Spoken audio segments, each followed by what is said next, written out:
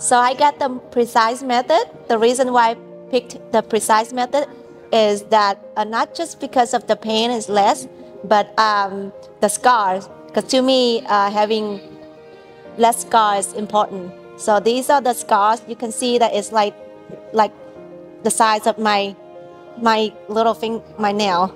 And then this right here and here and here. This is like about two months two months old uh, scars.